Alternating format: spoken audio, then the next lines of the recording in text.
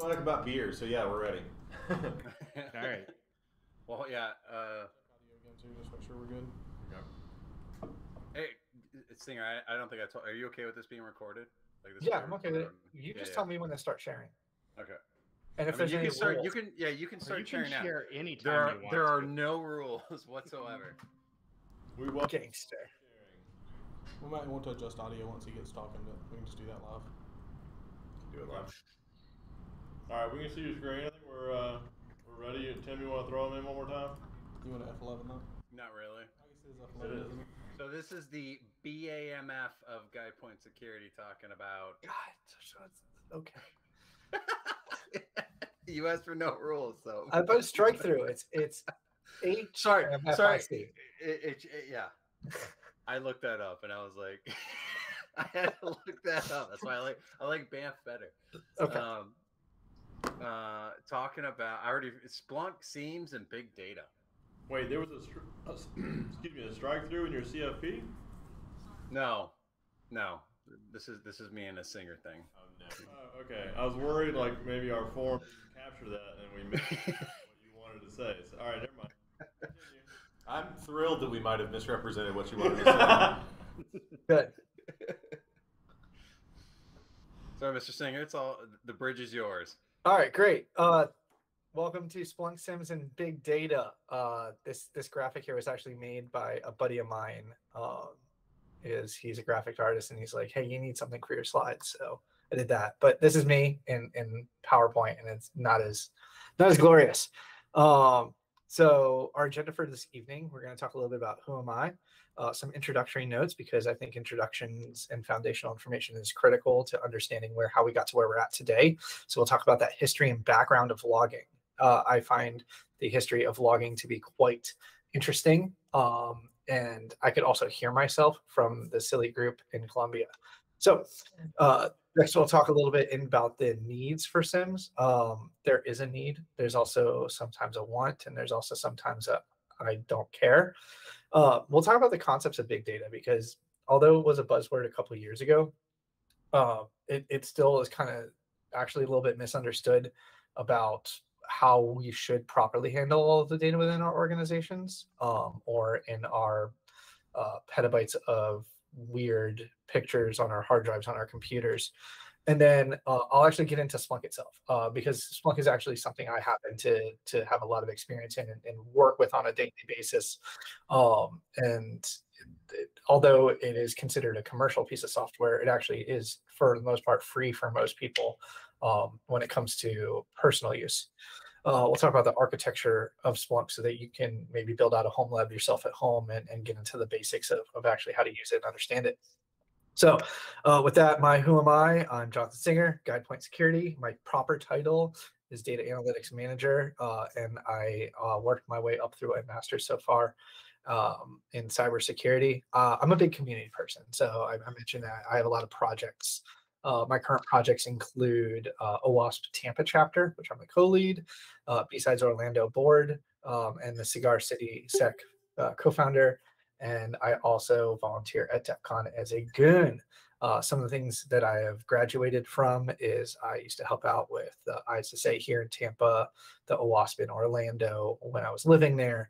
Um, I did found the Hack at UCF uh, Cybersecurity Club at the University of Central Florida, which is now uh, 10 years on and has been winning the national championship uh, a lot, I think more than any other university in the country. And uh, I used to mentor through Cyber Patriots. I really need to get back into it. That was fun. So I also have certs, uh, but certs are uh, I'm a dozen, um, but uh, there's a bunch of them, and I have a bunch, so that's cool. Uh, first things first, uh, and by the way, uh, this is a uh, this is an encouraged uh, scream and yell kind of thing. I just don't want to hear the echo because it confuses me, like um, like a lost child at the mall. Uh, No, Splunk it, it sucks. Yeah, it really Yeah. sucks. uh, sorry, let's just rip the band-aid off. Splunk is not a SIM. Uh, done. Great. By default out of the box, but it is not a SIM. So so now that we're done with that, let's let's take a trip back, way back in the day of dinosaurs and Cray computers. Um in and when I mean way back in the day, I mean realistically we're we're talking about the 80s. And and when we're in the 80s, uh, which by the way, yes, I did exist in the 80s. Um, it the systems had data, right? Like, I mean, it's not it was necessarily a foreign idea, but their data was isolated on individual hosts. Um, and so if you ever had to do something, you had to physically go to that system. Like this was like an adventure of uh, let's let's go down the you know computers were were not necessarily the size of a room by now they were smaller systems but still the, the the communication amongst them was still very limited the idea of transmitting larger sets of data was still very limited. And so a computer was very function purpose and, and when you needed something you went to that system. And uh, as we continued on and, and, and things got better and we saw the, the advent of, of unix operating systems and uh, the ability to uh, marginally communicate uh, and, and run a series of, of these beautifully compiled applications we started to to see the need for not running around um, from box to box. And so, uh, so late in the 80s, uh, and, and I'm talking about you, the younger people online watching this uh, that are, don't understand where computers and the internet came from. Um, we still have SendMail, right? And so SendMail was this, this beautifully crafted uh, terminal application to communicate with other computers, uh, not just potentially on their same, I don't know, token ring network, but but like actually out across this this ARPANET, intranet, and thing that, that was slowly starting to take off, and, and these universities are communicating with each other, and it was super cool.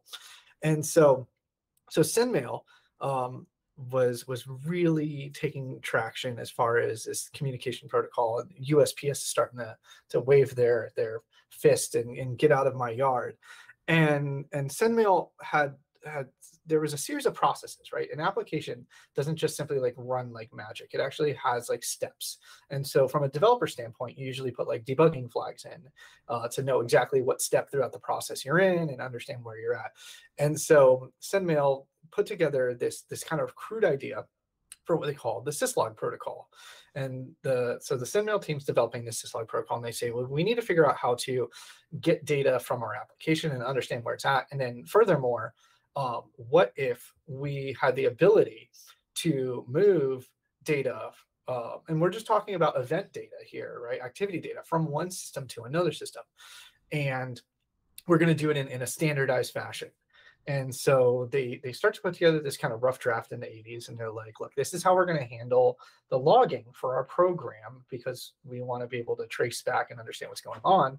And furthermore, we're going to help shift our data around because we're really just tired of jumping from computer to computer. We we want to be able to do it, you know, and, and, and over there at the log server. And other developers in these early Unix days are like, hey, we really like what you're doing with with your sendlog or SendMail logging, uh, can we adopt uh, this this standard, this protocol that you guys are slowly putting together?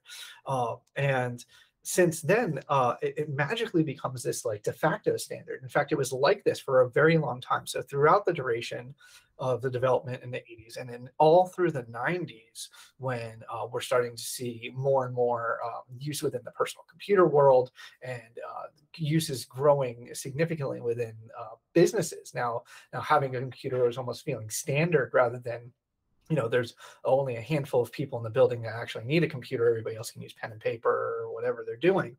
And so so all these applications are now adopting this syslog standard and, and sendmail is still continuing to help develop this. And and it was years and years and years. It wasn't even until 2001 that finally hit an rfp uh, or not an rfp an rfc and so if anybody like me uh, loves to read uh, really good documentation while in the restroom, I highly suggest you check out, you know, RFC 3164. It, it's just really solid stuff um, because it laid, this is the first groundwork ever of the concept of moving logging data. And then it was finally standardized in RFC 5424. And so we see here this, this brief snippet of, uh, of this RFC from 2001 and you can still you know go online and read this stuff. But there was something really interesting that I, I, found when i was you know joyfully reading my rfcs uh, that everybody I imagine d- does with if they have a CISSP also, and uh, they uh, they they laid the groundwork in beautiful ASCII art for what the transmission uh, architecture should be. And so I want to kind of highlight some things here. And so we have things like a device. Well, a device maybe is that host where the data originates. And then we have a collector. A collector could be where that data ultimately ends up to be pilfered or searched, right? And then we have this introduction of this concept called a relay. Well, a relay could be this intermediary box to help forward data along.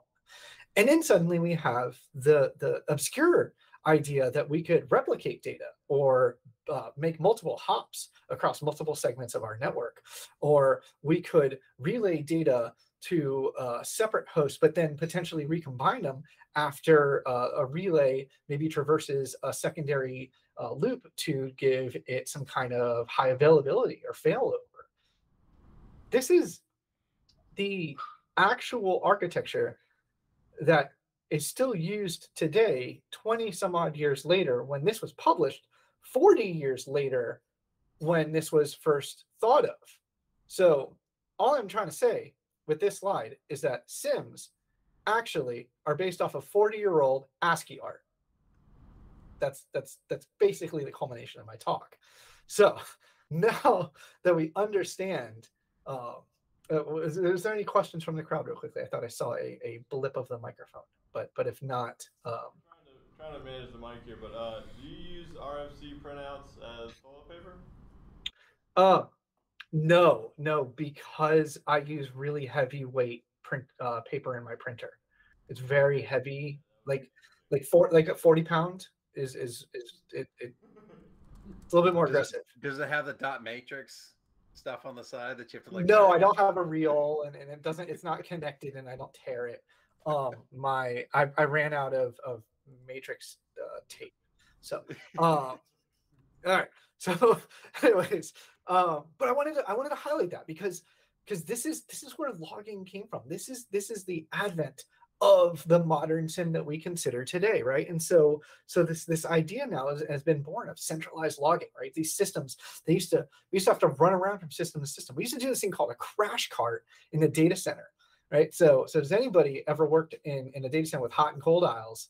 Uh, a crash cart uh, was a small cart that had a monitor and a keyboard on it and uh, you would have to look up the address of where a server was located if there was an error and you would then go okay cabinet 16 uh, u5 like and then plug in a vga and a ps2 into the server and be like all right let's figure out what's going on so so we don't have to do that anymore. All of a sudden, we can collect the logs from each system and bring them into one central location. Like this is awesome, and we can store them for long term, right? And so you got to remember, hard drives way back in the day were like 800 megabytes. Like we were never going to fill that up, by the way. You know, never going to fill up 800 megabytes. And then like the 1.2 gigabyte hard drive comes out, we're never going to fill that up.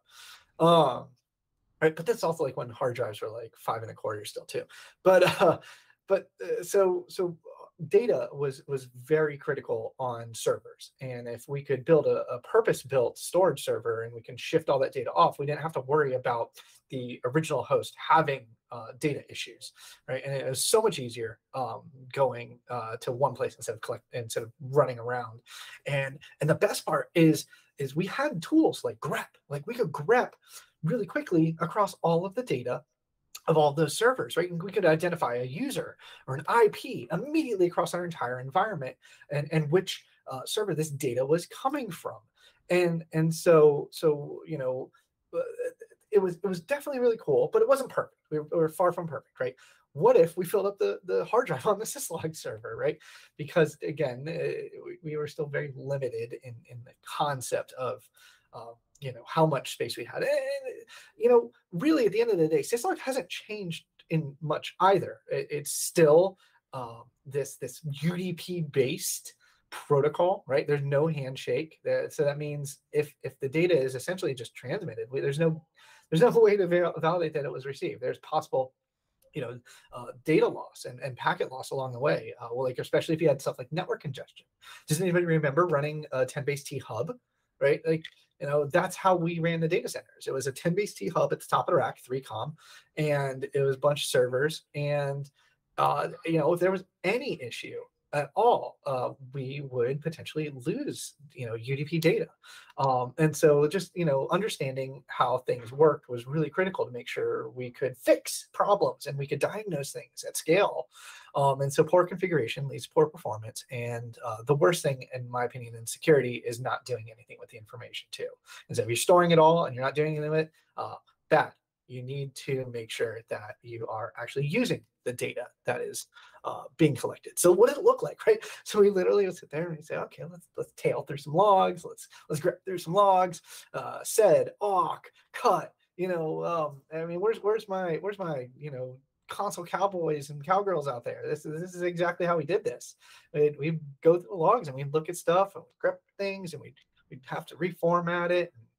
Uh, it was it was always really fun. Um, uh, but but then then we we realized that that consoles are boring and we had to build these these classic web apps. And so so this this new generation of centralized logging hits the scene and we say okay uh, where we're using GUIs now and we're we're working in things like Windows and OS2 Warp and you know you need to get with the times. Um yes I I will admit I am still using grep and awk and sed uh, to this day uh, because I sometimes find it to be faster uh, for what I'm trying to do. So yes, I completely agree that in 2022, um, nothing has changed in 40 years. I'm still sticking with it. Is it is this a screenshot you've held for eight years, or is it one that you found on the internet? Uh, this is totally from the internet. So, um, but anyway, so so we're we're now moving into this idea of of um, uh, turning uh, these legacy applications of, of syslog writing to a file and, and using system tools to, to analyze it too, uh, building applications specifically around um, making that data available via GUI, via web, via some kind of app, some kind of graphical interface that is not just a terminal anymore. And so we're we're, we're moving into this this modern concept. And so back in the early 2000s, um, we we invent the sim. Well, we didn't invent it. I didn't have nothing to do with inventing the sim. In fact, I was busy hacking server 2003 stuff. Um, Congratulations for inventing that. Well done. Yeah, yeah, but you know who did invent it? Uh, uh, some somebody on the internet. Uh, but Gartner coined it, right? And and they're they're gonna do the claim to fame. And so it's centralized logging with a security twist, right? It- It's this sim, this idea of of let's just not take all of your data. Let's not just you know collect it from all these places.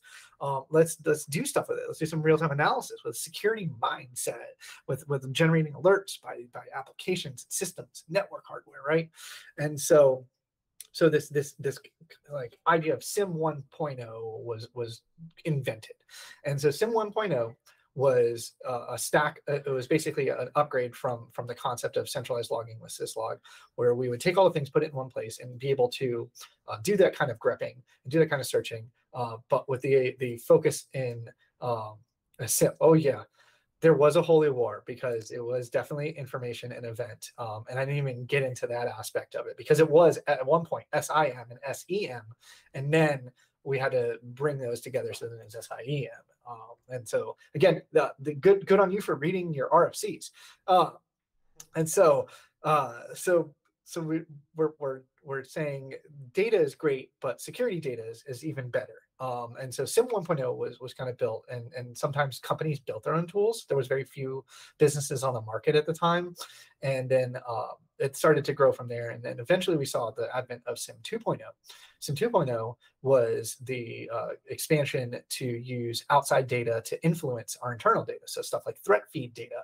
How can I take a list of known bad IP addresses, correlate that against my known internal data, and say this is bad, right? The original SIM 1.0 was like, if we see root, like tell me, right? Like that, that was the idea was like root and administrator was bad. I need to know when.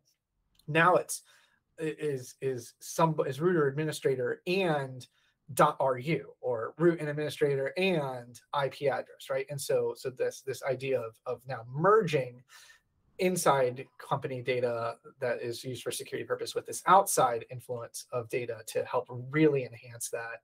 And we've we've kind of moved on to sim 3.0 these days so more recently sim 3.0 is this growth in the direction of um, of uba or ueba for some people right user behavioral analytics and uh, and the adoption of SOAR, right? And back again, say it with me. Uh, back in my day, we used to call it Perl scripts uh, because that's all it really is. I'm sorry, but SOAR, yeah, no, I mean, SOAR is just scripts. I that, that's so that's something new because I hadn't even heard of like to, to me I feel like a lot of people are still stuck at 1.0 right because they're not even taking in that threat because you got this whole other field now with threat intelligence Correct. and now you're supposed to take that and fit it in for SOAR and then a lot of people want to do the user behavior analytics but like I- I just feel like there's a lot of people that just are stuck at one just because they don't have the resources, they don't have the map, or they don't have the the skill set or the intelligence to really get It- it's out a of number that. of factors that uh, that has caused a lot of businesses to be stuck in a legacy legacy sim mindset and they haven't really graduated or matured to be able to support some of these more modern technologies. And they'd be surprised actually the modern sim technologies are so turnkey and capable that if they were to just invest a little bit of time and a lot of money um, you would actually step your security game up uh, and maturity up multiple folds uh, as far Yeah, but the level of effort The problem would there be is really a low. lot of money to Well, invest into something. I said that very nonchalantly as if I I cut know. checks. Well, I was gonna say the stocks that I'm involved in kind of like they want to get to all those places, but they're still trying to even just figure out 1.0, just in general, like Yeah. 1.0, and even would you say even just auto, getting to automation is kind of like 2.0, like automate No. automating some of the dumb stuff out, right? well, technically, automation is still uh, classified as a 3.0 initiative, um, but but you can jump. But the- the whole problem is that well, it's a twofold. One, you have to know what you want to automate. So, what is it you do every single day repetitively? Um, the other one is, do you have uh, the data that's capable of determining uh, responsive outcome? And and we can get into that later on. Um, because that's that's sim fun stuff. Uh, but but realistically, what do we expect out of a modern day sim? Right, we want to be able to search, we want to be able to report because business.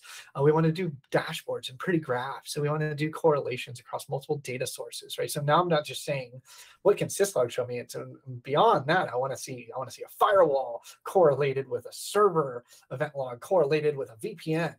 Um, retention and cycling, right? So I need to, PCI says I need to keep them and, and or I need to purge them on a regular basis because because also PCI says you can't keep data. But anyways, um, it- alerts and, and and notifications. How am I getting the message out? And device monitoring is this hot new thing, right? The concept of of telemetry, open telemetry, right? Well, and and and all these great things. Um, uh, again, back in my day, we should just call it Nagios. Um, So are And- you?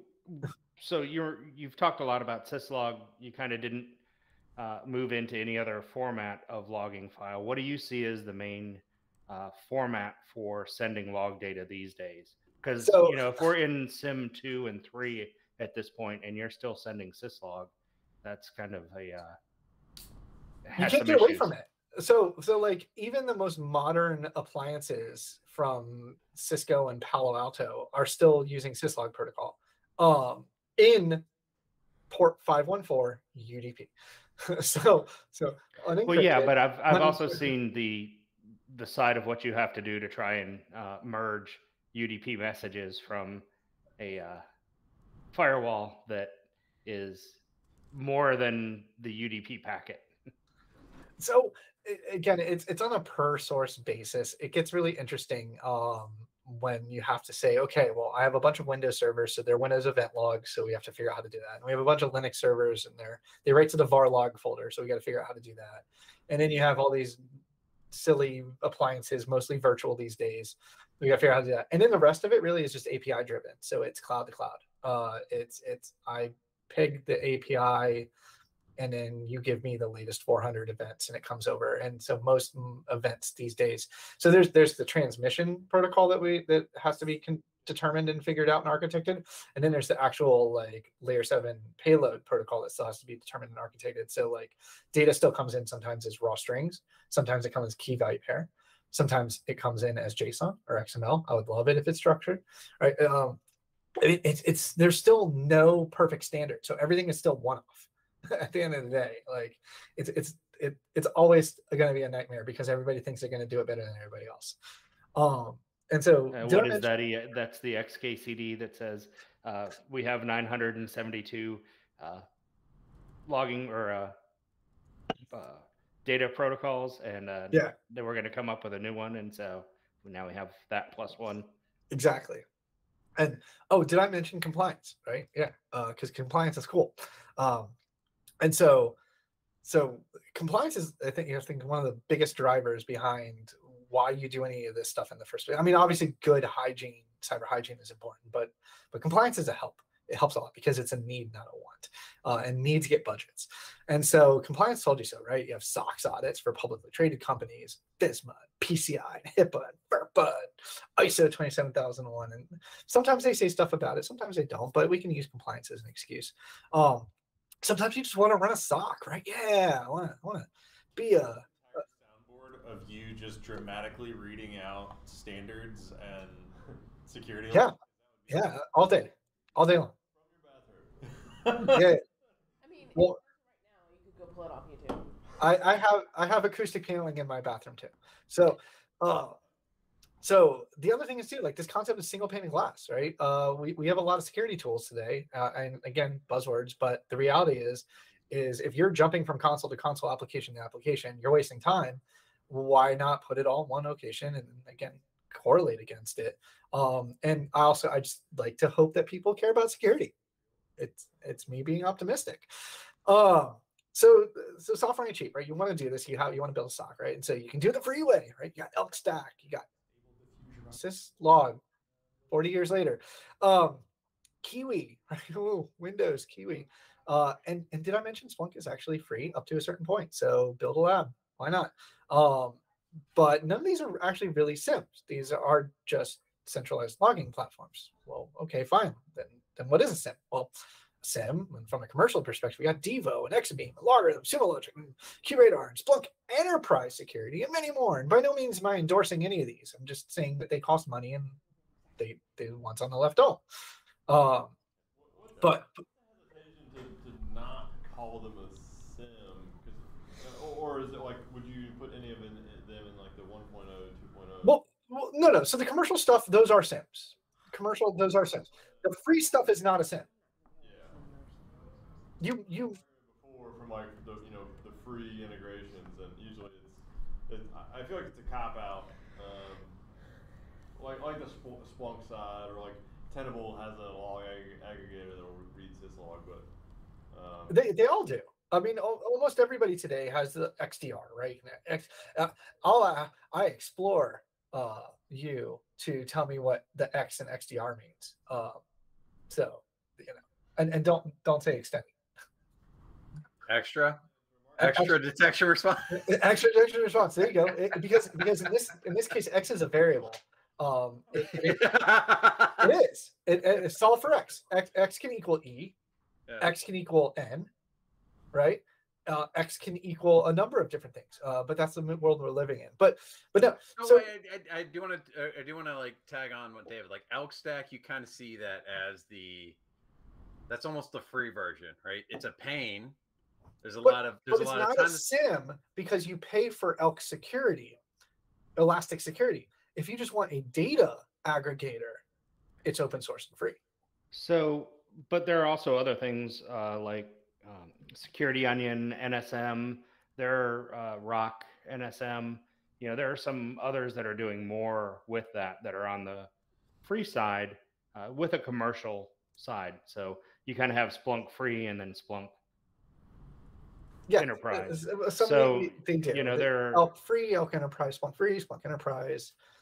but a lot of like the commercial products and a lot of other things use these free components right so I, it's a little disingenuous to say that they're not something when it's an integral part of something and if you're saying that there's something more to these commercial products um, there are potentially something more to some of the free products you just might not be listing them there So a, a elk stack can be a sim. It's just not a sim out of the box. Uh, Splunk free can be a sim. It's just not a sim out of the box. Commercial software is a sim out of the box. that's the big difference is that they come with a content library of security correlations. And that's the gap from centralized logging to SIM is is data graduated to security. So So you're saying you have to put the work in to actually get to that sim point? yeah, Yeah, you're It's- just not collect. Okay, I see what you're saying. Yeah, yeah, yeah. Yeah. yeah. and so so so commercial is turnkey. Free is is is work. There's still a cost. There's either you're working at it. It- Even though it's an opportunity free- cost or or an, an a, a capex cost. Yeah, yeah, yeah, yeah, yeah. I see what you're saying. Yeah, yeah, yeah, yeah. Yep. No, I agree because I've seen there was a SOC, and you can go look at my LinkedIn profile.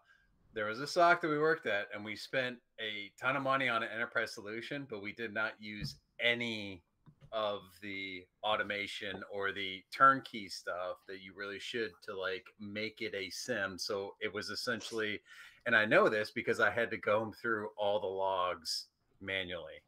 Yeah. So so so what you're saying Yeah. is that's not a SIEM. That's a log aggregate log collector that people analysts are having to go through versus like actually putting in the work to make it some sort of SIEM. Yeah. SIEM. like if if if elk has the potential of being a SIEM then my one liners and bash have the potential of being a SIEM so and they do. Um, I, I'm just saying that um, I've worked with QRadar and uh, a few of the other commercial SIEMs, and you still have to. Uh, we've actually been turned away from log sources, and been you have to write your own parser because we're just not going to do that. yeah And right, so I'm. I understand you're saying that you know free isn't cheap or free is free, but you have to put in time. But you can also pay a lot of money to a company, and they won't support the log sources that you have, oh absolutely and they won't do any of the integration. So just saying commercial is a SIEM, and something that's free doesn't. I think that's actually kind of a disingenuous uh, statement because uh, they go back and forth, and the commercial use the free sides, and a lot of commercial companies actually push back into the communities uh, on the free side to improve that side of the product. so there's definitely a deeper conversation there um and i agree that the the what we call the gdi phase or getting data in phase is it it applies on both sides of of the story here. Uh that's something you'll never get away from. Uh it, it, what you pay for in the commercial aspect is somebody decided what security looks like and put together a library of what security looks like uh, for you to use against your data. Now, the support for what they can bring in, that's just a, a that just has to do a lot with politics. Um, like there are vendors out there that refuse to bring in competitor vendor data because of politics. There's other problems around constantly changing. Uh, there's a number of reasons why a platform wouldn't bring something in out of the box. Uh, and but none of that really is what you're paying for at the end of the day. What you're paying for is a support line and somebody who decided what security looks like and put it in a book. Yeah. So Well, I, I, mean, the title of this is "Software Ain't Cheap," and it's where do you want to put the cost, right? So I do think in log collection you can spend time internally uh, using some of the same resources potentially to try and do things, um, but you can also pay on a commercial side, and you'll take what um, what you as the commercial vendor says is a security item. Uh, I live in academics, and uh, this is always a problem that we see is that our networks don't um, match a corporate network. The things that we do in our environments are not the same as a commercial environment, and so um, the things that are often defined in a pay-for product are not applicable. We the false positives. It, it's a weird dichotomy. There are zero false positives in your commercial product until you put it in my environment, and then my environment they're all false positives because we actually have the things that you say we shouldn't have. And Jeff, the number of times over the course of the life of Colasec that you've brought in. Yeah, no, that doesn't work on my network. It's, I, I felt that in my soul when yeah, you said it's that. wonderful.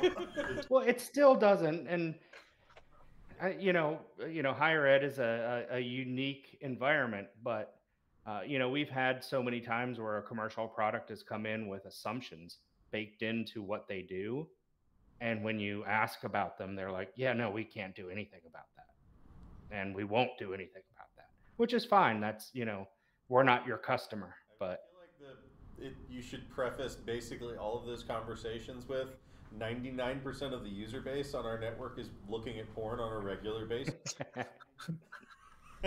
like, just on a on a less to the table. on a less than that side of things, honestly, one of the things we do have is IPv6 and the number of vendors and companies that just still to this day um, are like, well, we have IPv6 on our uh, management interface, but we don't know what to do or how to parse IPv6 in our uh, monitoring nodes is amazing. So I, I digress and I apologize for that, but Oh, no, you're good. mean to. You're good. And and again, you know, I, I also just don't trust anything vendors say. So uh, that's that's the other part of it. Um, but but let's talk about like those needs, right? That that data retention policy, right? What why what is what is a SIEM and what is centralized logging actually helping do with this? So let's talk about some of those regulatory, right? Who, who's who's a who's a PCI auditor? Ten well, ten point seven specifically says you need to have logs for a year, one year, and and three months need to be immediately available. Um, ISO twenty seven thousand one you know you need to record all these activities these exceptions these faults and and and uh, infosec events. And need to be kept and reviewed regularly because we all review them regularly whatever that means.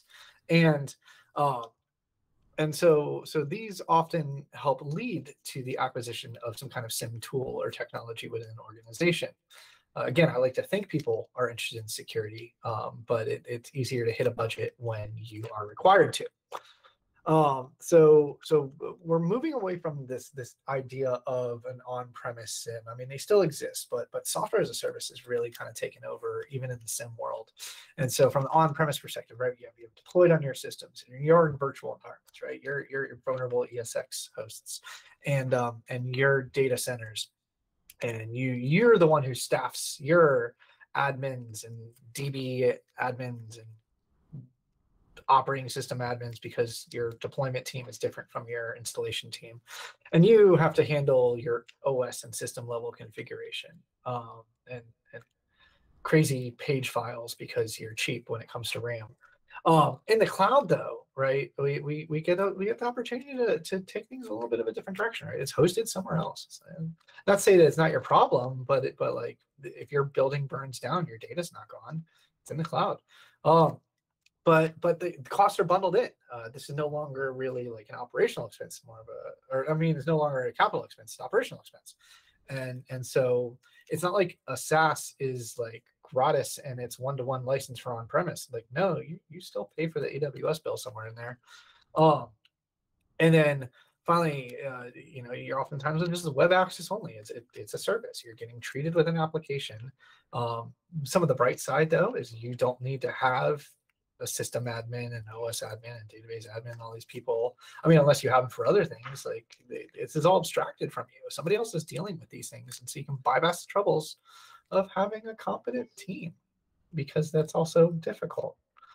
Um, and so so there's there's also the whole aspect of sizing requirements. Data is still is not magically cheap, right? And so when you run on premise, you have to think about like how much storage do I really need, right? So let's say I generate 100 gigs of data per day, right? Oh, well, when you take that into account, really to generate 100 gigs of data a day, that's only about 400 servers. And, you know, we'll, we'll consider some compression factors because there is compression when it comes to the SIEMs. And so it'll take 30% off the top. And so we need about 70 gigabytes of disk per day but our compliance says we need it for a year. So then that really means we need like 26 terabytes of log data. Now we don't just go out and buy. I mean, we don't have. I don't think we have 26 terabyte hard drives yet, but we'll just go buy. Like you can't just store it as is. You have to have redundancy, and so now we need multiple drives um, to to be able to handle this. And and we also are migrating. You know, what if we want this to be efficient and quick? Well, then we're not just going to use spinning platter or SAS anymore. Now we're moving into NVMe, um, and and and, and NVMe drives are freaking expensive. I just bought a two terabyte NVMe for myself, and it was already $150. So I can imagine enterprise stuff. Yeah, Was that a question?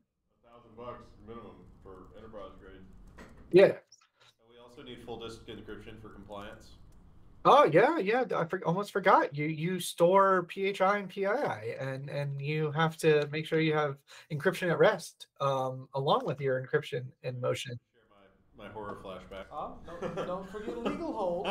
Somehow. It, it, it- I, I, I was I was gonna say like you did yeah you did one year earlier. I was like at PHI you have to hold for seven years. yeah.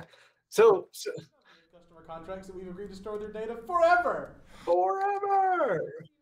You mean all the time, silly, silly man. So so uh, suddenly the cloud is starting to to feel a little bit more um, yeah, maybe some, something I want to invest in. Um, but but then your boss says, well, what do we do with all of our big data? Well, what exactly does big data even mean, right? And and so so breaking it down, right? So we're, we d- analyzing information from a large data set. Okay, I get that, right? It's a lot of data. It's big. I get it, right? And efficiency and speed is key. Ha ha ha.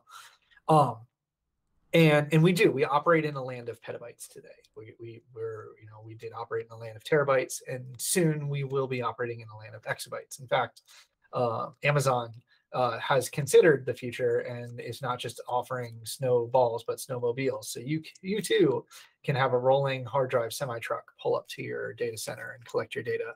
Um, but things to consider right? We're, we're considering velocity volume and variety right? That's that's the keys to big data um, but but but actually, data isn't just like free flowing data. uh, We have data lakes and data warehouses, right?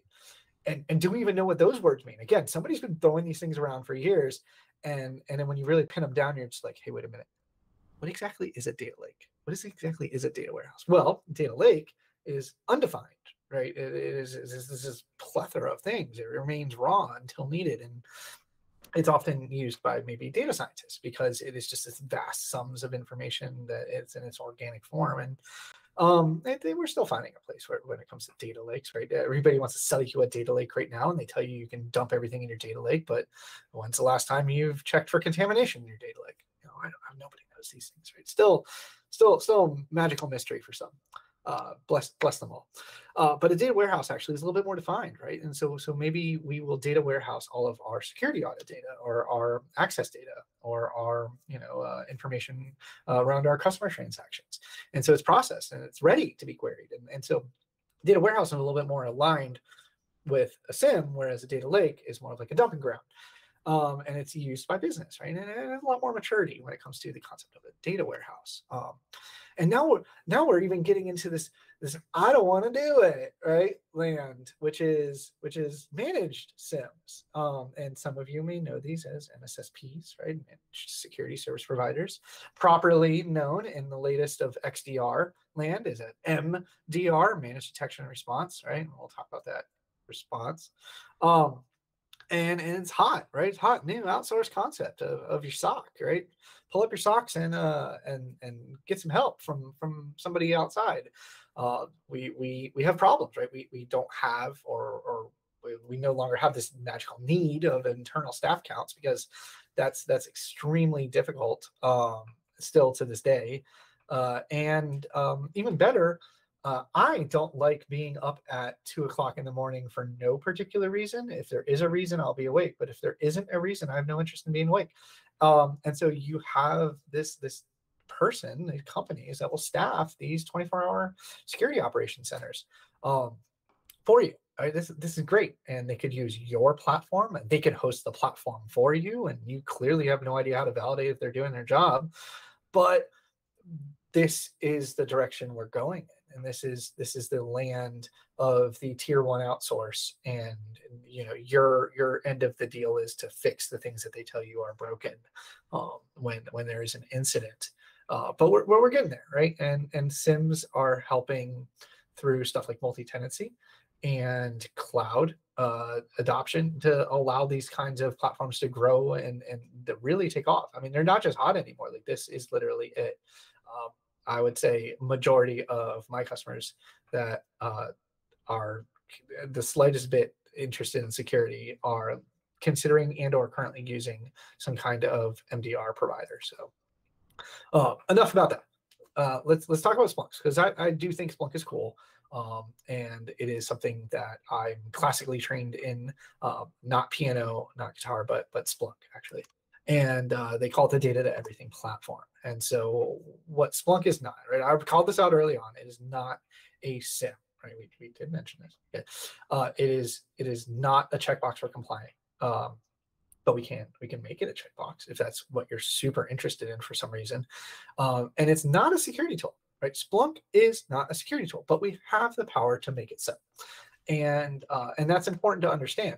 Uh, just like uh, this PowerPoint, PowerPoint is not really, you know, it, it's a platform. It's, it's, it's a platform to allow us to be creative and build on top of. Um, it is it is almost like Splunk is almost like its own kind of like IDE, like a development playground uh, of what you can do. Let's let's just let's see, right? And so so Splunk actually is a data analytics engine. Lots of data from different types, and it's a platform for custom development, right? The, you, I want you to make Splunk yours, right? It, it's not it's not as like one off like one size fits all. Like no, you you can make it comfortable and you can you can not just i'm not talking comfortable like adding some css i'm talking like actually make it part of your your operations and make it flow right? And so it's a tool to grow into a security suite or a SIEM or, or whatever you decide right? You can customize it how you see fit. And so splunk can do all of those things uh, that it's not. I just want to make sure you understand right? i say it's not a SIEM because it's not a SIEM when you install it. It's a SIEM when you make it a SIEM and so it takes some configuration. It's, not necessarily always hard. I can show you, you know, I've been, like I said, I've been doing this for a long time. So a little bit more of like, hey, I know how to do that. You just click, click, click, and you're good to go. Um, and it's not necessarily always time consuming. Um, again, a little bit of training goes a long way. So like any other platform, it actually just does nothing at first. It, it's like, oh, hey, I'm installed. Thanks. Um, but where it shines um, is is the, the platform support, as in what it can do what its potential is. It has a lot of potential energy. It's very little kinetic energy uh, at first. And so vendors galore. Um, and so real quickly, we have Splunk in, in, this cloud and we have files and we have apps, right? So apps make data and we can read from files and there, there's more to it, but but that's basically it. That's that, that's the architecture of Splunk. Take things, put it in Splunk, right? Or at least that's what they want to tell you. But what are these things? These things is is data, right? And we this we call it machine data in Splunk land, and uh, and so we have structured and unstructured data. But let's let's take a look at this this example here. So I have a log, and this log came from a, a host, and it's got some some strings of data. Let's see here. I, you know what? If I were to just look at this log outright, maybe I could decipher what it means. But there's still some things I'm a little bit confused about, right? And I don't fully understand every aspect of it. Um, but you know who does? Splunk does. Uh, because Splunk has been taught how to break down what all these fields are. And so, for instance, the first field's a date, then we have time, then we have log source, log line, command, bytes, object, offset, department, department group, right? And so, giving these fields a variable or a field name is critical to the success of a SIEM. And so we're we're we're maturing from strings to actual key value pairs. And this is kind of the magic of what a modern SIEM is expected to do today with any data source that you throw at it, whether it has an integration or you have to teach it. You, and, and, you know, Jeff, you mentioned, well, what about the custom stuff? Uh, nobody had an adapter for it. This is how you teach your SIEM what your data should look like. And so, so that's kind of that that premise around it. And now, also, all data happens to have some metadata that goes with it, right? So every log that comes in gets what's called a source, right? So the path or the port that it was received on. So where did this data come from specifically? A source type. And this is more of like an arbitrary name assigned to tell it what type of data it is like Apache combined access, right? And then finally, we have host. And a host is the system that it was derived from. Last one, we kind of have time. Underscore time is what it's called. And it's actually extracted from the log uh, from that time field. It says, oh, where's the time? Where's the date? Like, you know, when did this event happen? Because uh, if anybody's ever been through incident response, uh, time is critical to understand the series of events that took place. And then, um, and then Splunk, mm, you know, not just from the data side, but from an architectural side, does have a series of components that it's made of. So we have stuff like the search head, which is the web searching console. Right, this may be something that some people are familiar with. The idea that you log into this web interface and you can begin uh, your querying of data, similar to some kind of like phpMyAdmin and using it for MySQL. Um, indexers, right? This is where the data is actually stored, right? And so, and it's not just stored in like flat files or anything of that sort. It actually goes into this proper storage. It's not necessarily a database, but it's a storage system with Bloom filters and things of the nature. And then, um, and we have universal forwarders. That's a fancy word for the agent. And so the agent is installed on a Windows or a Linux or Mac host. Finally, we have stuff like a heavy forwarder. We saw this earlier on in our uh, ASCII art for syslog that was the relay is an intermediary system to help data bounce from one place to another. And so it's a full system of Splunk that has forwarding capabilities to help data get from a universal forwarder agent onto the indexer, which is the ultimate destination where it needs to be stored. And then finally, there's stuff like the deployment server, which is another fancy word for agent monitoring and management console. So uh, when you really get advanced in Splunk, it gets more interesting because Splunk can be simple in architecture, it can be quite vast and and kind of spread out. For instance, we have clustering capabilities, right? And so we have stuff like a cluster master, which is how you manage a cluster of indexers, so a cluster of data stores. We have a deployer, which is how you manage a cluster of search head consoles. Because what if you exhaust how many connections can be established to a search head or the number of users that can simultaneously be performing searches, which that is technically limited. You have a management console, which is the entire environment health. So if you are distributed and you are clustered, you want to be able to Splunk Splunk, right? Which is can you manage and maintain your SIEM's health as an environment in itself? And then finally, license masters, which is a special type of system that holds that metered license that Splunk happens to use, which is very important in the sense of making sure that your indexers are not violating your EULA in terms of agreement. So you can do simple, right? An all-in-one, a search head and indexers combined. This is great for small environments. When I say small, I do mean like under 80 gigs a day in data. So only maybe a couple hundred servers. You can totally pull this off on a single instance. Um, whereas distributed, you're going to have multiple servers. But this is great for large data sets. This is great for, I mean, I've seen customers that are generating 40 to 80 terabytes of log data per day, multinationals um, but this is the kind of architecture they need. They need large clusters. And so they apply their clustering concepts and they have the ability to have stuff like failover and HA, um, which is also very critical. So what does that distributed environment look like? Well, we start at the bottom, which is our forwarders, right? And we can we can even load balance that. In fact, load balancing uh, is often native in Splunk capability. So you can load balance the destination uh, of data. For instance, we see some Linux agents, some Solaris agents, and some Windows agents. And if one of the indexers is unable to be connected to, we'll just fail over to another one and we'll just queue up our data. And so we have the ability to do load balancing, we have the ability to do failover and HA, um, all native within Splunk in clustered and, and distributed architectures. Uh, then we also have stuff like our firewalls and our routers. That's going to be a little bit more syslog. And We can also kind of send that along. But we have our forwarding tier, we have our indexing tier, and then we have what's called our search tier, which is essentially that querying node at the top to be able to look into that indexed data. And so this, this, my peoples, is the SIEM part of the Splunk discussion, which is that one cool trick uh, that that uh, that that security people hate, which is install enterprise security, but it costs money. Um, but it is an add-on module and it's what adds those security use cases to be able to function and work with the data that you've brought into the platform.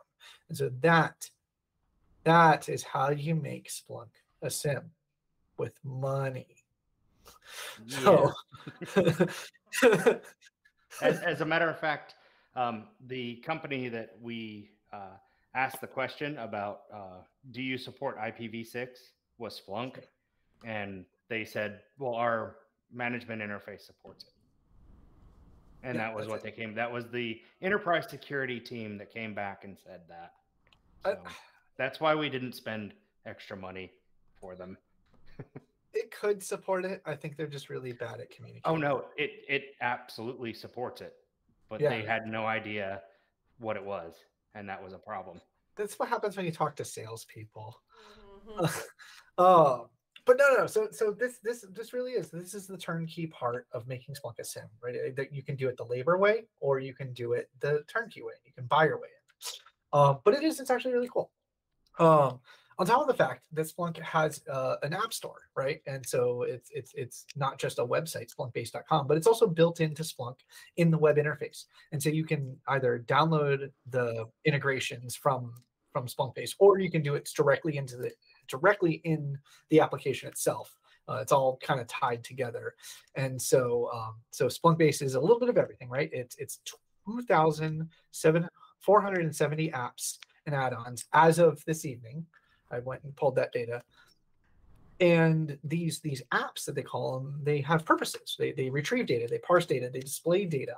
These are the the parsers and the integrators. And you say hey splunk i have cisco asa so i need to go out and get the cisco asa app um, or splunk i have palo so i need to go out and get the palo alto app i have aws so i need to get the aws app and so this on the back end teaches splunk how to bring in the data if, if need be maybe api or or not and also how to read that data, how to break down those fields that we saw earlier and say, this is an IP, this is a username, this is a host, right? And so this is how it does it behind the scenes. It's not Splunk doesn't know how to do this out of the box. It has a handful of the box, but they're not they're not as vast. If you if you need a specific vendor, you will most likely find it on Splunkbase in the app. So is this is this so is that is that Splunk creating all those add-ons or is that like the vendors? Like I saw Palo in there. Is that Palo? it's a happy that? marriage. So most of the stuff is done in in cooperation with the vendors in Splunk. Um, other times, vendors will actually hire a Splunk developer to make their app. Um, other times, it's made by the community, right? And so there may be somebody out there who is like, "Man, I got this thing, and there's no app for it." Uh, but I, you know, I read a couple books once in my life, and and so I'm gonna give it a try and make my own app and share it on Splunkbase. And and if it works for me, hopefully it works for other people too. But is that is there a cost associated with all that, or is it? No, so Splunkbase is 100% free. There's only a Okay. handful of paid apps, um, enterprise security being one of them. Um, and then back in the day, uh, app for Microsoft Exchange. Um, and then there's one called ITSI, which is more of like a, a, a, a observability and telemetry platform for system and, and application health. Um, and that's really pretty much it. Uh, there used to be one called for VMware that cost money. I don't think it exists anymore. There's there's literally five or six apps that cost money. The rest is all free. Gotcha. Okay. And those the ones that cost money are made by Splunk. of course. So so apps are broken down into two categories. Um, there's apps and there's add-ons. Right? I've been calling them all apps, but let's let's properly call them apps and add-ons. And so apps are a demonstration of what is capable of the data. It's a set of dashboards that basically says, I see that you're interested in Palo Alto data. This is a, a visual representation of how that data can be used within your organization for, for the better.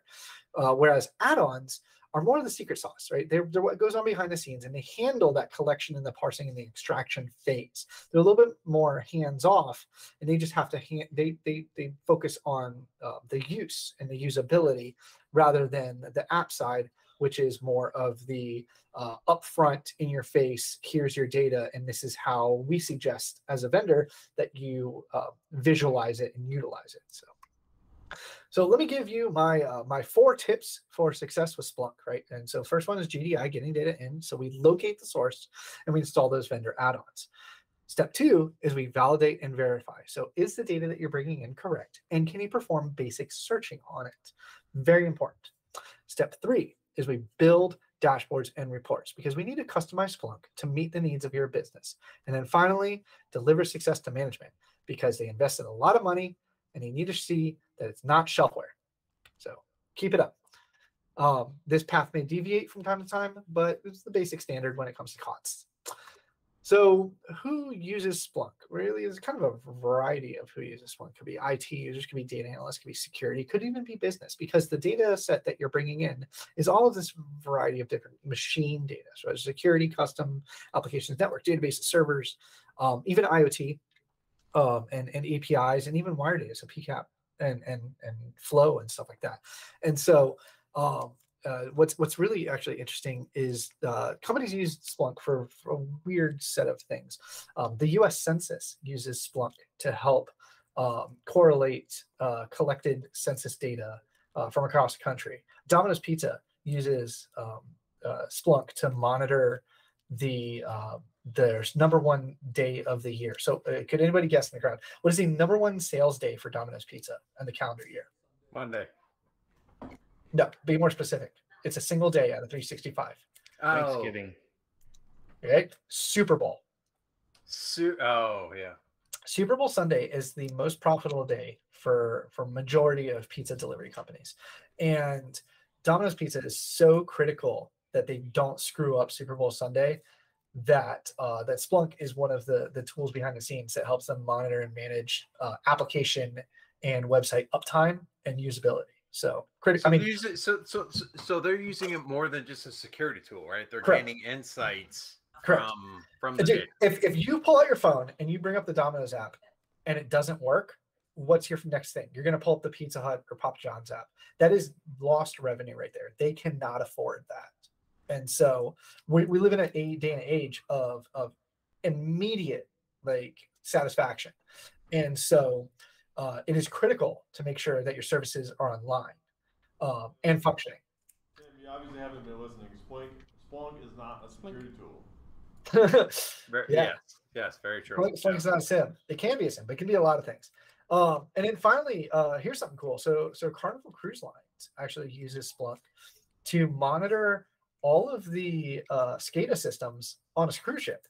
So we're talking HVAC, diesel uh, generators, uh, uh, uh, wireless access point, uh, crowd locations based off of capacity limits. So they can do like live crowd herding through like events and demonstrations to help um, make the cruise ship actually safe for for an emergency. I mean, it's really cool what kind of data you can pilfer from your environments. So, And Stuff to consider. interestingly, Mackenzie just walked in the building.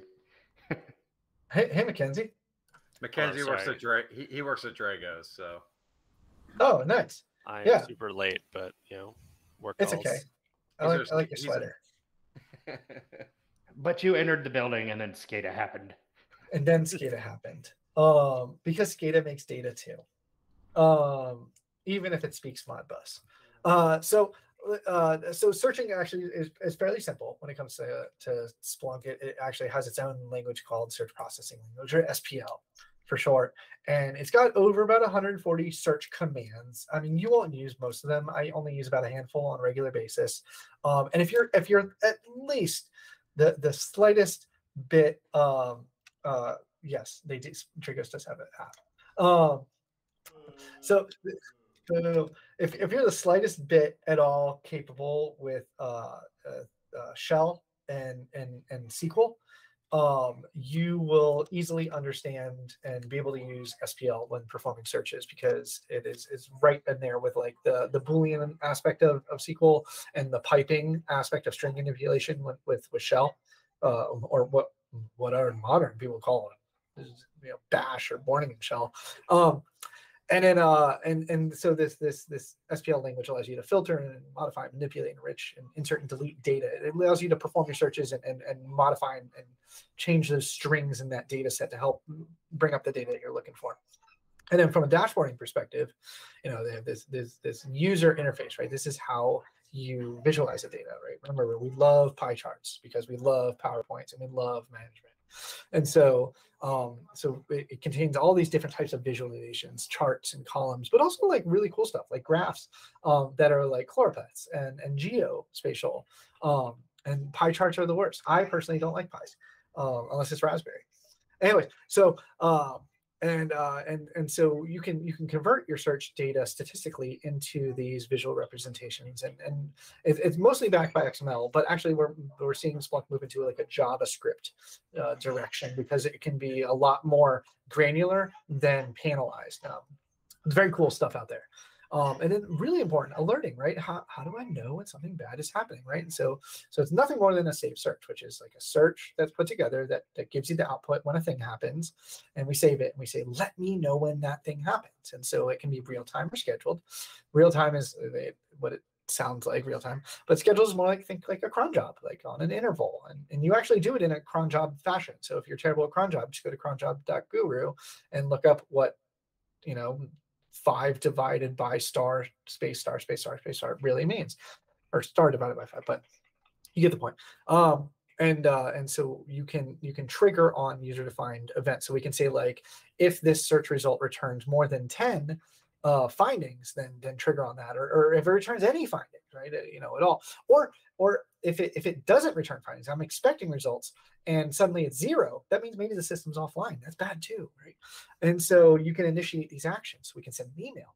We can potentially send a text with something like like PagerDuty, right? Um, or or whatever you know uh, stuff we use today with with with snow and things like that. You can send Slack, um, and or, or you name it, but don't say Teams. And uh, and and we can even trigger SOAR, right? Uh, there's automation platforms that we're seeing today in, in, in modern SIEM, SIEMs 3.0s. Reports are also really critical, right? Another form of a saved search, but this is more of like a, a report that gives you like a the output. Uh, Tim, you're about to be kicked out of your own meeting, and uh, and so so again we schedule these to run on these regular intervals and and it's performed kind of like uh, an action right so i can email you a report every monday on all of the um, the endpoints last week that uh, whose edr uh, fired off an alert right? And so you put statistics into a, into a dashboard you can put them into a chart and, you know, give you some great information about a duration of time. And and this this is how you impress your boss right? Um so so here's what i like to do. Like this this is what what is interesting about splunk and and i i i, I, call it translating right? And and the idea is you tell me what you want in english and i can help you develop that in spl in the splunk language right? And so we take your idea and we make it as a query and you you you, you and so when i'm consulting with people i say well tell me a little bit about what's important to you and from a security perspective and, and more specific to your business. I'll say well i want a graph of of all of the uh, the hosts right? Uh, uh, sql and kql so kql is totally more of like a azure sentinel thing. Um, uh, kql is more like it's almost like powershell um, versus versus sql uh, which is more uh, boolean based statements. Um, and uh and so or i want a report of this or, or alert me when this happens right? And you, you communicate that in english and i can do that that rosetta translation into spl um and so so people say i want to know when my employees are visiting naughty websites. Uh, daily is the answer. Uh, when a workstation is calling out to a russian website. That's kind of critical right? Let's check your dns resolution and see you know .ru um, or how about this? Show me on a graph um, the average shopping cart price for my customer right today. Or that's not that's not a security case. Or show me the cpu load of my production systems. Again it uses uh, but we can develop this in splunk. Or or how about uh, am i meeting compliance right? And well let's let's let's look at those controls and see what we can get from your data. Or am i experiencing network bottlenecks right? What what is your hardware saying about what's going on in your throughput? And so so translating that's really important. That's really really the it. I i, I showed you a lot about um, about SIEMs and big data and i showed you a little bit about what i like about splunk and i think it's cool. Um, and and really I, I don't have much else beyond that uh, uh, if anybody has any questions you also hit me up on twitter linkedin i do have a youtube channel uh, it's also under my name and uh, uh, uh, you know mackenzie uh, it can be in in in, in- in the multiverse it can be I, Right. I just appreciate that Mackenzie showed up and immediately started trolling. Yeah no, this is good this is really good it, it's it's He Accurate. long enough to get a little bit of situational awareness and then immediately started firing. it's perfect uh but really no honestly that's that's kind of the end of my presentation i do appreciate everybody kind of sticking around and listening Sorry, I don't like. I know that it's sort of troll, but it's not. Uh, like I work with customers all the time, and we talk about like network security monitoring, and like active and passive monitoring and like security awareness alerting. And uh, the answer that I get a lot is that like we have Splunk, Bullshit. and that to me is like um, like Splunk is great if you have engineers and analysts that know how to use Splunk to make it great. But because Splunk is just like the black hole of ingestion of information, like your security alerting and awareness out of Splunk might not necessarily be.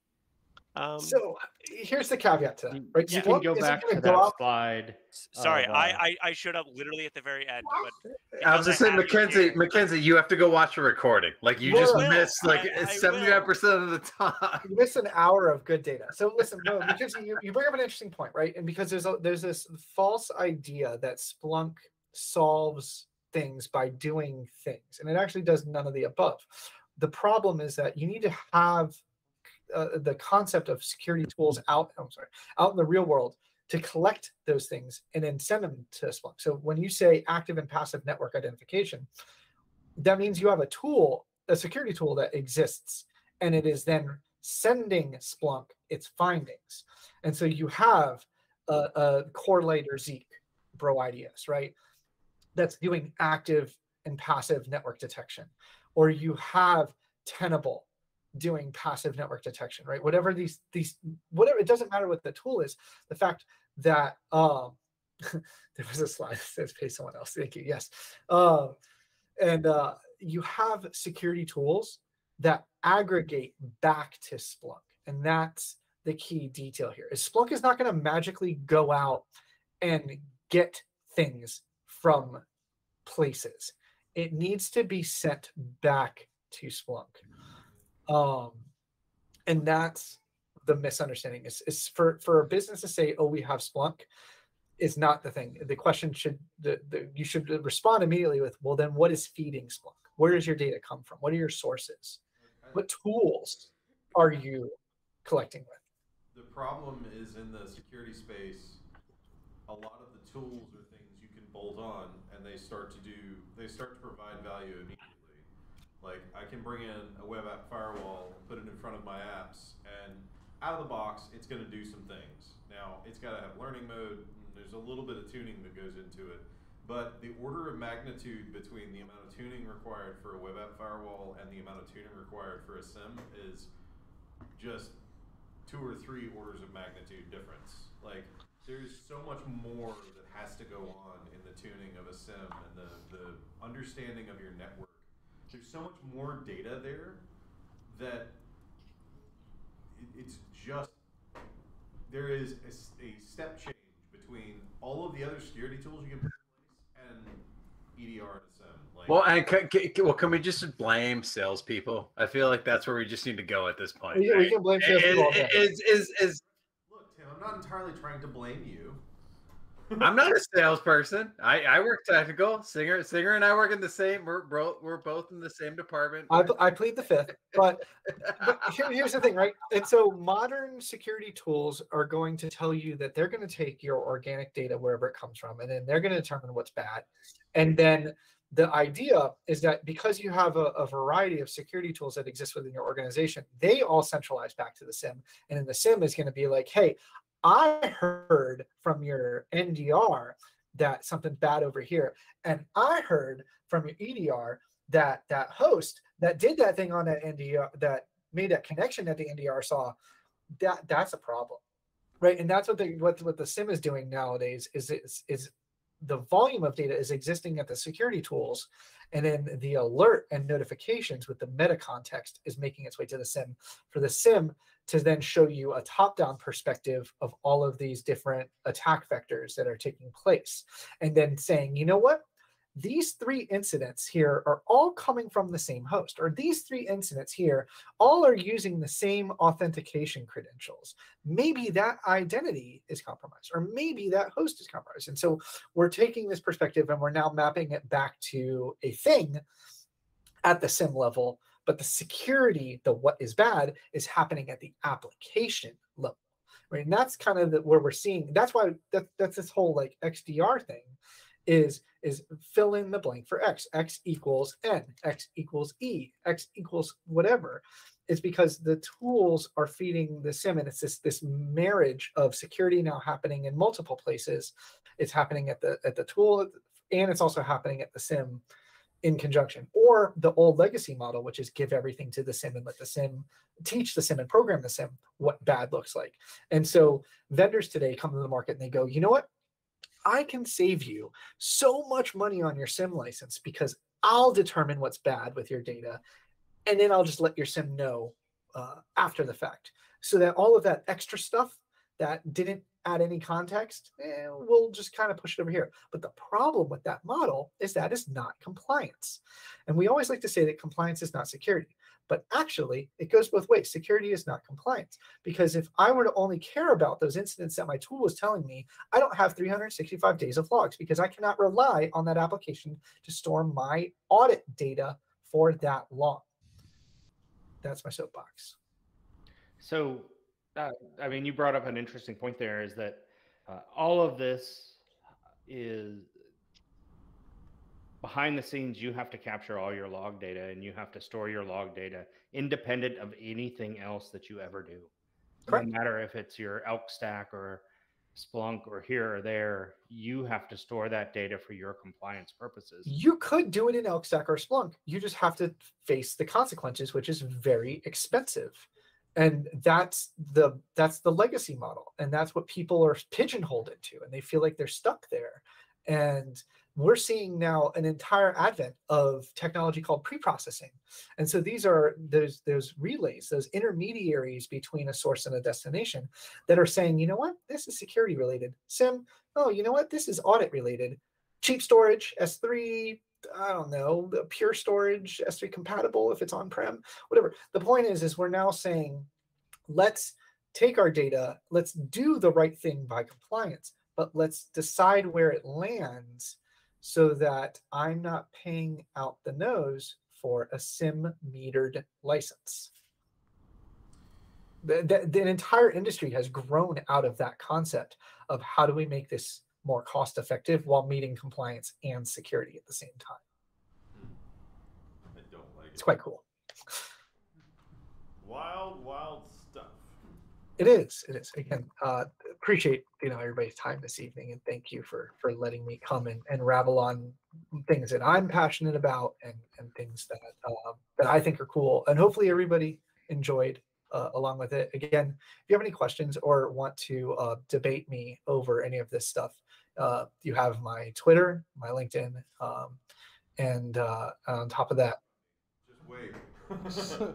uh, bring it on. You know what happens when people email me? You get into the marketing thread, and uh, you will get spam. because welcome to corporate marketing. Um, but but really no. Uh, hopefully, you know, in my opinion, everybody should have some kind of centralized logging. Um, but how you do it, it all depends on your business. You also have to measure your risk.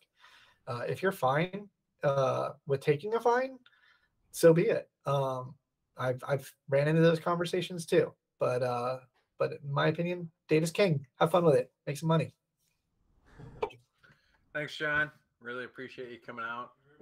Yeah. This is a really I good look talk. Forward to seeing the talk. Um, Uh, and, and actually, I would love to to come back again. I have some some more talks. Uh, I, I have one on. Uh, it's called WTF or NFTs. Uh, uh, but but that talk takes about two hours to give. I have another one on uh, a very timely talk on how to build an Ethereum mining rig. Um, but but that ship that ship sailed. Uh, is anybody is anybody How- interested? How to buy an Nvidia card? I don't to, I know. I uh, was gonna say, is support the- anybody interested in some uh, 3060 Ti's? oh yeah, I want a 3060 Ti that's in burnt through. Fuck it. no, these things actually, this thing works super, super well. I just benchmarked it like earlier today, and it is, it is like, it's as if I never mined on it for the past year. And and a my half. BMW drives really well, but the transmission's gonna go out in the next 12 It's months. because you drive a BMW, and that's your fault. Our our, our uh, volunteer ColaSec streaming rig needs an upgrade. So if So does my Plex server. But it's streaming capability- Yeah, I don't know. Can we stream everything on uh, GPU? I mean, how does that work?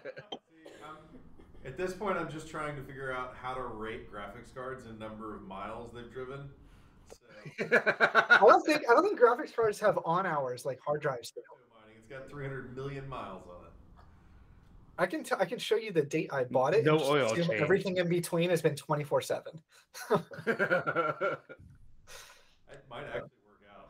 Like, I can tell you how many hours are on it uh, from well, that. Well, So with the with the new chip, uh, what is it? The chip order? Like we're gonna do the U.S. chips. Like you probably sell those for pretty good right now. oh yeah, and, um, I mean, like I said, I've I've actually have. Let me let me just bring this into frame because now we're talking about it. So I got this one right here. If anybody's interested, This one right here. is now the stinger selling graphics cards. Wait, how much are these graphics cards? Three hundred shipped. 3060 Ti's, original, non LHR. 36. Are those, wait, are those Low are mileage. Those, are those Low uh, mileage. unboxed? They they're high. They're high mileage, but in great condition. It's got to be better than my uh, 960. So Oh I mean, yeah, For it's three hundred dollars. David, you might want to actually consider upgrading. Well, so I'm unloading some, and I'm actually saving a couple to build a, a cracking rig. So I was gonna say that's that's the next step is just uh, It's kind it's kind of Yeah. funny, do cracking password cracking for fun and profit. Jonathan. I disassembled my Ethereum mining rig, and it was it was all 1080s, and then oh uh, my gosh, I- 1080 Ti's or 1080s? 1080s. Oof. Um, I mean, this was back in the day. Okay. Um, when the 1080 was the new like 1080 like the TI wasn't out yet. Our Lord 2010. Yeah, back in the year of our Lord 2012 or 2013 or Uh, that's or- the, that's the year of GTX. We're in the year. We're in the advent of RTX. yeah, now. RTX wasn't even invented yet. All right. yeah. Fuck off with the ray tracing. But I disassembled my Ethereum mining rig and built three uh, identical computers for me and my brothers for Christmas. Nice. So Yeah. No. I, I know the There you go, Singer. There's your there's your Christmas. You should just start handing them out at the at the, at the holiday party as Christmas. Uh. Hey, you get an RTX. and You get an RTX. It's like, Yeah, like, John. what, John, what am I going to do with this? I have a No. laptop. wait, do we, do we, do we have I know that would make it even funnier. Just hand them out. do we have your Ethereum uh, presentation? How do you how do you change an Ethereum mining rig into a password cracking? so, so you, you don't actually have to do anything because most Ethereum mining rigs, uh, when done the cheap and easy way, ran Windows already. Um, and so you could just install Hashcat. Uh, Short presentation. uh, but like the, the presentation does go into a little bit of the specifics of Ethereum mining, like how you uh, do proper power management, how you do proper cooling, how you do proper like actual consideration, and the fact that there are motherboards that were built specifically for mining versus consumer grade equipment. Um, and so like there's an entire targeted market of hardware and supporting hardware that goes with mining versus the stuff you buy on Amazon. So it's quite it's actually there's a lot to consider but again, it, that didn't age very well as of a couple weeks ago. So, uh, That's not going to stop us from inviting you back. So uh, you can, I mean, you can, you know, just because Ethereum did like a hard fork merge and and we can't mine it anymore because stakers suck. Um, Ethereum Classic can still be mined, and then there's all the alternatives, which everybody I guess jumped on Ravencoin or whatever stupid thing is next. Um, so they, they still function as expected. uh, You just can't do the targeted coin of of the now. So- David's struggling over there. I think my battery my mouth is dying, which means it may be time to wrap. Indeed. Oh, I need to go eat dinner, so I'm gonna I'm gonna Alright, say yep. good night to everybody. I'm gonna go good night, John. see if I can find a taco. Uh, Taco Tuesday. oh Taco Tuesday? All right. Not Right. Alright. Bye. Bye. Regretting your choices. What what do you mean? I'm not regretting any decisions. Apparently, the wig is closing as of um, like Halloween. Yeah. Yeah. Oh, they, they Love did they you finally come out and anna- announce it? Yeah. He Yeah. can't even say the word announce. They, they guaranteed. Wait, whoa, whoa! I thought you were in New Hampshire. What are you doing here? Hi. It's yeah, not on. There's no video. There's no video, just audio. But yeah, She's in New Hampshire, quote unquote. Yeah. Yeah. She's working two jobs. Sounds like a liar to me. I yeah, we'll about to interrogate that a little more later. But Too bad you're not here. Yeah, sorry. Uh, duty called. Fail. Fail. Uh, so Mackenzie, I Blame got- my coworker's daughter for getting liver failure and me having to cover his work. Totally blame her. Darn them. Uh, so Mac- Mackenzie, I just got a um, Escalated quickly. I guess we- Heaven's Yes. Door uh,